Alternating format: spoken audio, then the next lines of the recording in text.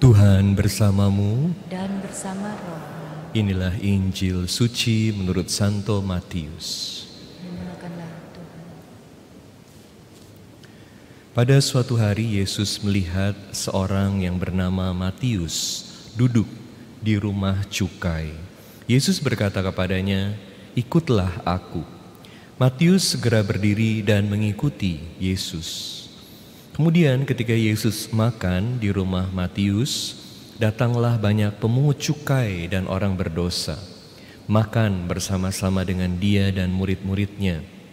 Melihat itu orang-orang Farisi berkata kepada murid-murid Yesus, "Mengapa gurumu makan bersama-sama dengan pemungut cukai dan orang berdosa?"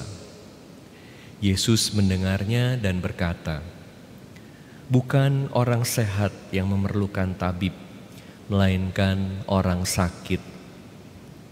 Maka pelajarilah arti sabda ini.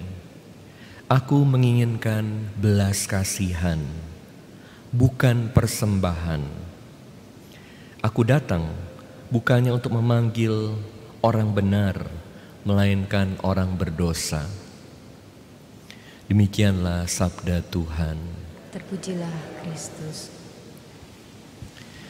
Aku menginginkan belas kasihan, bukan persembahan.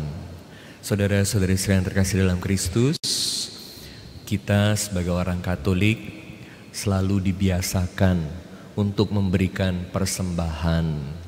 Persembahan adalah hal yang penting dalam hidup beragama. Misalnya di dalam perayaan Ekaristi, ketika kita merayakan misa ada bagian namanya persembahan. Tentu ini juga menjadi bagian dari kurban, perayaan kurban. Apa yang kita persembahkan menjadi kurban kita. Namun demikian hari ini Yesus mengingatkan kita Yesus mengatakan, "Aku menginginkan belas kasihan, bukan persembahan." Apakah itu berarti bahwa persembahan menjadi tidak penting? Bukan. Hari ini Yesus mengingatkan kita bahwa kita harus kembali pada tujuan persembahan ini. Seringkali persembahan ini digunakan untuk membela diri kita, melihat diri kita sebagai orang yang baik, orang yang hebat, karena kita sudah melakukan banyak hal, memberikan banyak hal, bahkan kita bisa berlomba-lomba soal pemberian, soal persembahan. Siapa yang bisa kasih persembahan lebih besar? Siapa yang bisa melakukan sesuatu? Sebagai persembahan yang lebih hebat.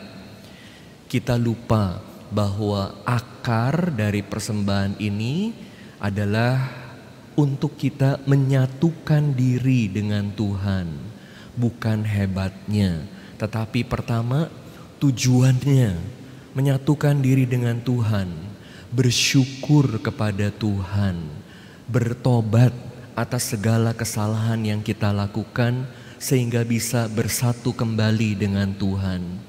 Jadi, yang paling penting bukan eksternalnya, bukan sekedar kegiatannya apa, bukan sekedar pemberiannya apa, tetapi hati kita. Kita melakukan tujuannya buat apa? Apakah sekedar untuk dilihat orang? Yesus menginginkan supaya hati kita dipenuhi dengan belas kasih.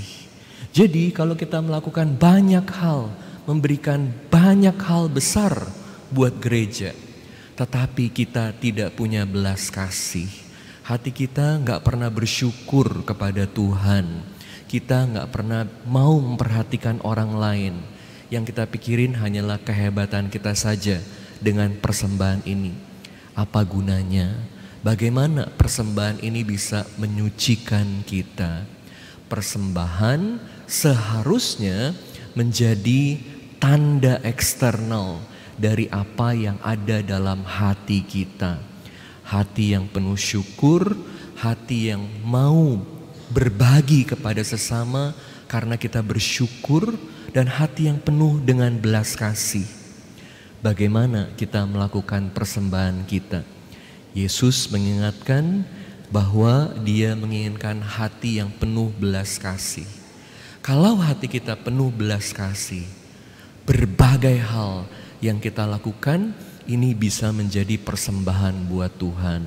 Bahkan hal-hal yang sangat kecil yang kita lakukan di rumah dengan tetangga, di tempat kerja menjadi persembahan kita buat Tuhan karena ini melambangkan, menggambarkan, mengekspresikan rasa syukur yang mendalam karena Tuhan begitu baik pada kita. Bukan persembahan yang sekedar menjadi tindakan eksternal, tapi tindakan yang menjadi ekspresi belas kasih kepada sesama dan syukur kepada Tuhan.